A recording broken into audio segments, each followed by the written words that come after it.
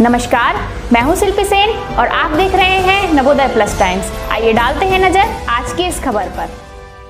जब से जनपद ललितपुर में पुलिस अधीक्षक प्रमोद कुमार ने कार्यभार ग्रहण किया है, तब से उनके निर्देशन में जनपद की पुलिस अपराध एवं अपराधियों के खिलाफ काफ़ी सक्रिय नज़र आ रही है।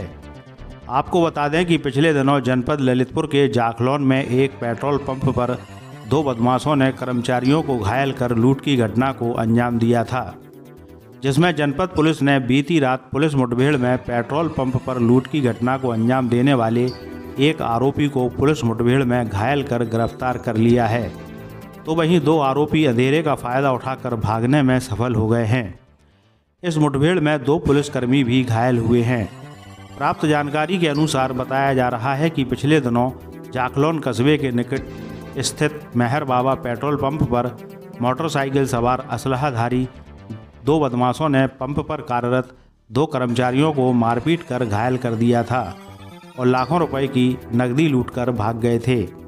इस मामले को पुलिस अधीक्षक ने बेहद गंभीरता से लेते हुए एसओजी सहित कई टीमों को लूट की घटना के अनावरण हेतु लगाया था। बीती बुधवार की रात पुलिस को मुखबिर से सूचना मिली कि उपरोक्त कांड के आरोपियों की मौजूदगी राजघाट रोड के पास स्थित है। सूचना मिलते ही पुलिस हरकत में आई और इनका पीछा किया तो मोटरसाइकिल पर तीन बदमाश पुलिस को देख भागते हुए नज़र आए। भागते समय बदमाशों की मोटरसाइकिल असंतुलित होकर गड्ढे में गिर गई।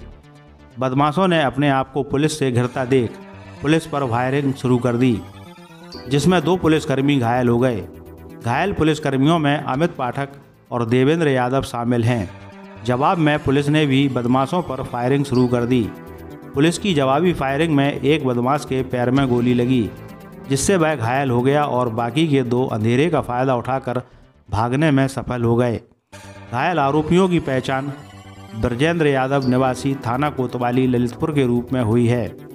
दोनों घायल पुलिसकर्मियों सहित आरोपी को जिला चिकित्सालय पहुँचाया गया है, जहाँ उनका इलाज चल रहा है। रात में ही पुलिस अधीक्षक प्रमोद कुमार भी घायलों का हालचाल जानने के लिए अस्पताल पहुँच गए थे। जहाँ उन्होंने बताया कि दोनों फरार आरोपियों की धरपकड़ के लिए पुलिस ने प्रयास तेज कर दिए हैं। सभी आरोपी जल्द पुलिस की गिरफ्त में होंगे।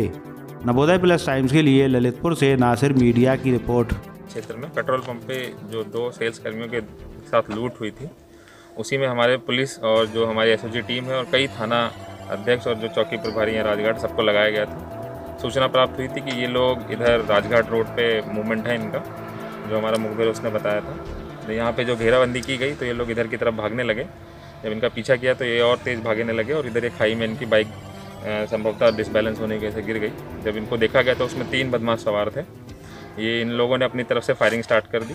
पुलिस की तरफ़ से भी फायरिंग हुई। क्रॉस फायरिंग में एक जो बदमाश है, उसके पैर में गोली लगी है। साथ ही साथ हमारा एक सिपाही है, उसके भी वो भी घायल है और एक जो सिपाही है, वो गिर भी गया है। तो सभी तीनों लोगों को हमने तत्काल हॉस्पिटल भिजवा दिया है। इलाज जारी है।